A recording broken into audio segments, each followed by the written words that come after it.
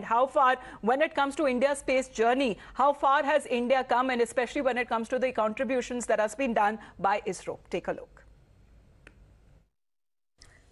Now, the Indian Space Research Organization has had a very illustrious history since its formal establishment in the year 1969. It's done us proud on multiple occasions uh, through its various launches. So let's in fact give you uh, an insight into some of its very significant launches that have taken place with the onset of the new uh, millennium. And uh, let's in fact begin with uh, the year 2008, which was, of course, the year when Chandrayaan 1, our first ever lunar probe, which succeeded in its very first attempt, had actually been launched. Now, the reason why this mission was such a success was because towards the latter uh, part of its exploration, it managed to actually uh, discover traces of water uh, on the lunar surface. So that has enormous implications. So that's the Chandrayaan 1 mission that we're talking about. Then, of course, let's fast forward five years later when uh, another very significant mission had been launched by ISRO. Again, a success in its very first attempt. Uh, the first uh, global mission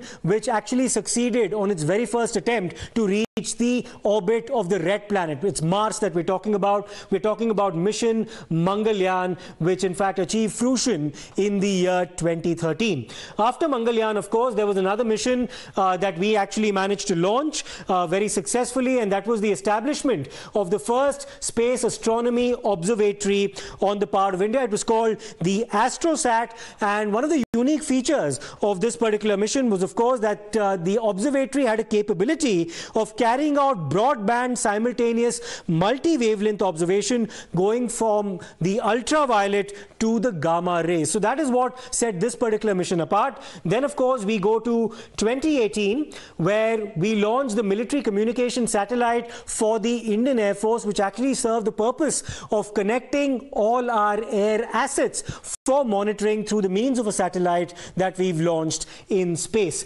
Then, in fact, uh, we'll go to 2019 where we talk about Chandrayaan 2. Now, some people believe that Chandrayaan 2 actually failed. However, uh, there are mixed views about this for the simple reason that while the Vikram lander in that particular instance crash landed on the lunar surface, the orbiter still managed to do its job in sending some extremely valuable research insights over an extended period of time.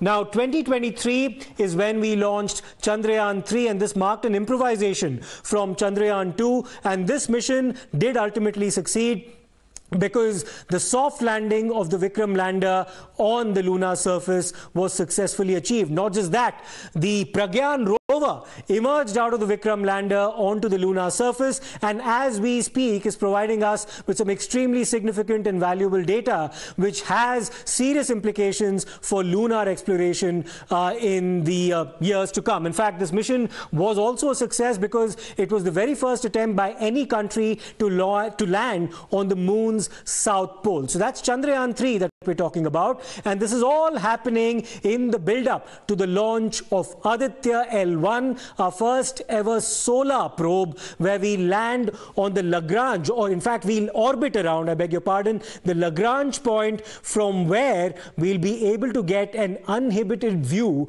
of the sun for solar exploration. So this is in fact um, a summation of all the important space exercises that we've carried on since 2008 all of which have been successes in their own way. And now, of course, we wait with bated breath for the launch of Aditya L1.